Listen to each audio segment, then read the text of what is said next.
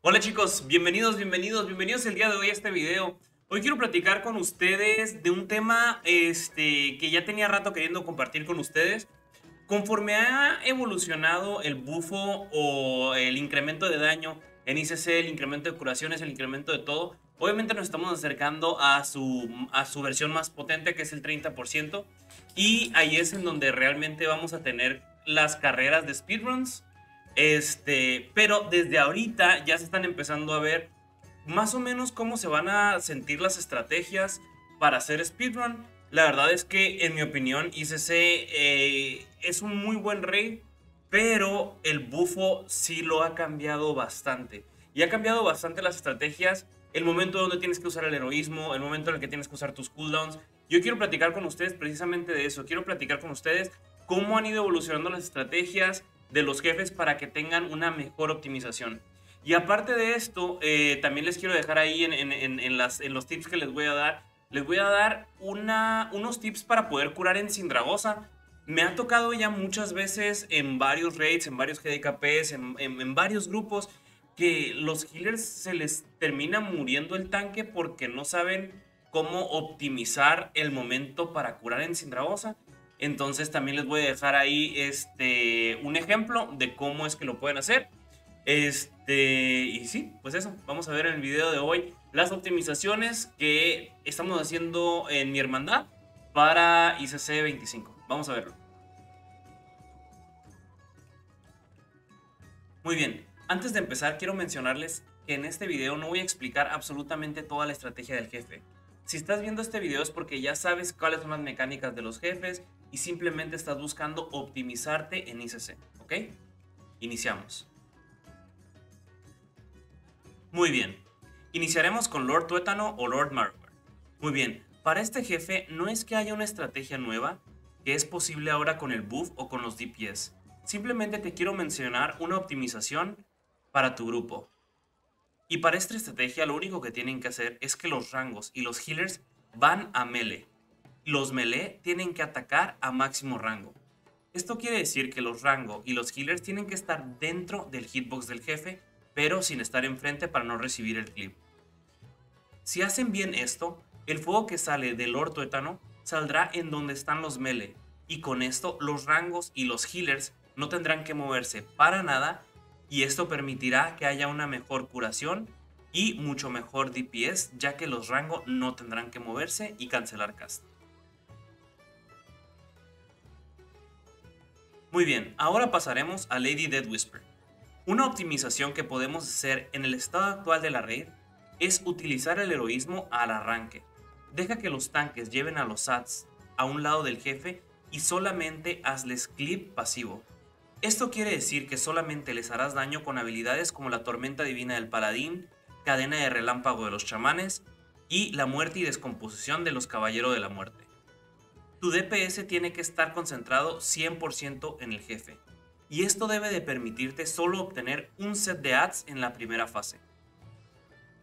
Una vez que cambie de fase, la pelea se lleva a cabo exactamente igual.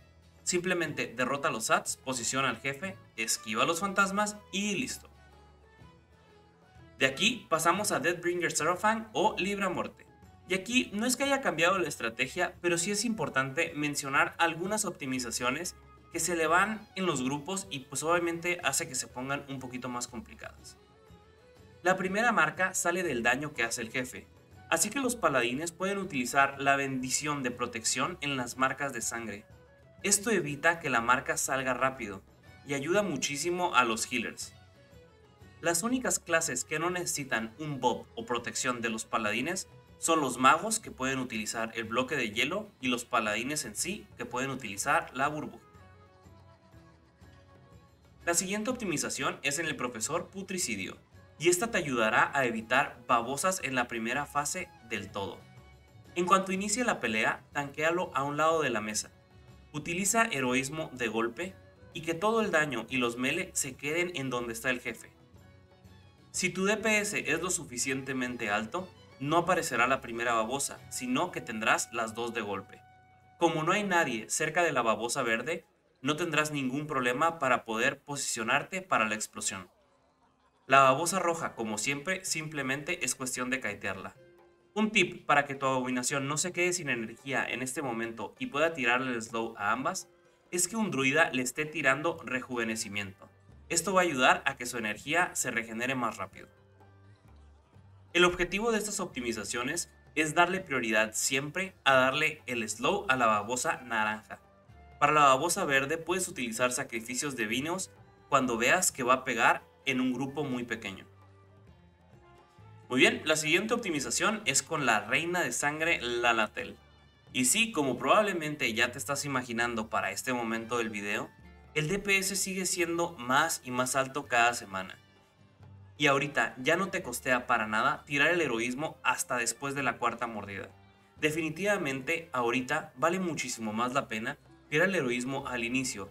Así todo tu raid se podrá beneficiar del máximo efecto de este mientras utiliza la Pripot y todos sus trinkets.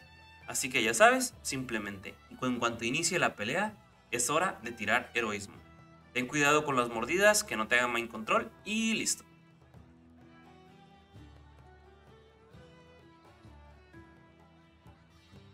Muy bien, de aquí pasamos a Valitria. Y esta optimización la verdad es que está un poquito complicada, pero está muy muy interesante. Los curadores tendrán que entrar en los portales de inicio y solamente entrarán a tres portales. Cuando salgan van a tener aproximadamente de 15 a 17 stacks. En ese momento van a utilizar heroísmo. Se va a curar lo más que se pueda a la dragona. Y en cuanto salgan el siguiente grupo de portales, los DPS asignados, obviamente los tienes que asignar desde antes, van a tener que entrar a tomar la mayoría de los portales. Valitria recibe daño cada que un portal está todavía arriba, así que lo más importante con esta estrategia es simplemente que los DPS entren, tomen la mayoría de los portales y los curadores o los healers se queden afuera curando duro, sin absolutamente ningún problema después del tercer portal, te dará para poder curarla al 100%. Y muy bien, Aquí vamos a hablar de la última optimización que tiene en este momento ICC. Y realmente aquí no es de haber cambiado o no una estrategia, pero es con Sindragos. Obviamente puedes utilizar el heroísmo al inicio, que es cuando más beneficio va a tener para tu raid en cuestión de tiempo.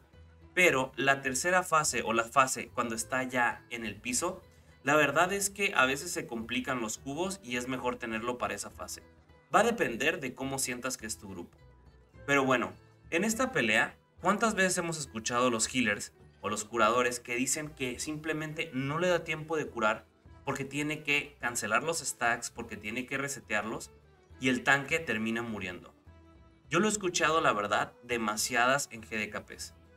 Y te quiero dar un tip para que puedas curar de la manera más cómoda en Sindragosa Heroico. Una vez que la dragona esté en el piso, vas a curar de manera normal, al menos de que te tire Unchained Magic o Magia sin cadenas. Ahí sí tienes que avisar y tienes que dejar de curar, al menos de que sea una emergencia. Pero bueno, después de que caiga el primer bloque y no tengas Unchained Magic, te vas a colocar a un ladito de él y tienes que revisar el tiempo de la aplicación del stack. Cuando falten 3 segundos para la aplicación del stack, tienes que timear tu heal para que salga en ese momento. En cuanto el heal o la curación salga, entra, solamente límpiate por un segundo, sal inmediatamente y sigue curando. Así, minimizarás el tiempo en el que no puedes curar al tanque y vas a evitar que se wipee con unas cosas más normales de esta fase. Intenta comunicarte con tu tanque para saber cuándo viene el aliento de la dragona que es realmente cuando el tanque recibe la mayor cantidad de daño. Siempre y cuando sepas esto, no vas a tener ningún problema. Y bueno, la verdad es que con el bufo de ICC, las hermandades, los grupos han estado pues haciéndole casi casi carreritas a esta raid, esta raid legendaria. Y es en la única en la que hemos sentido tanta, tanta diferencia semana a semana porque es la única que ha tenido este bufo tan gigante de daño la próxima semana, de esta a la que sigue, ya tendremos 20% de daño extra. Y nosotros ahorita, por ejemplo, en fusión estamos eh, derrotando aproximadamente entre una hora 40, una hora 50. Y aún con uno o dos wipes, eh, más que nada en, en LK, porque alguien pisa alguna trampa o algo así. Pero la verdad es que yo creo que los speedrunners, cuando llegues a 25 o 30%, no recuerdo exactamente en cuánto termina. Si no mal recuerdo, en 30. Pero cuando estemos en 30%, yo creo que ICC lo vas a estar pudiendo hacer en una hora 20, una hora y media. Y eso también me gustaría que lo consideraran para las maneras de hacer oro, para los que quieren jugar para Kata o los que quieren comprarse el token o lo que quieran hacer con el oro.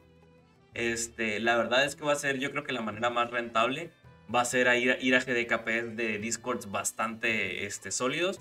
Así como TOGC fue, la verdad, una mina de oro para, literalmente para hacer oro en, en, en WoW, la verdad yo creo que ICC va a terminar exactamente igual. Y pues, con, toda esta información que les acabo de compartir ahorita, espero que su grupo pueda hacer las cosas de una manera más óptima, de una mejor manera. Me gustaría pronto hacerles una guía para Lich King heroico. Creo que mientras más siga subiendo el buff, va a ser un jefe que va a estar más accesible, pero aún así es importante eh, no nada más saber las mecánicas, sino equivocarte.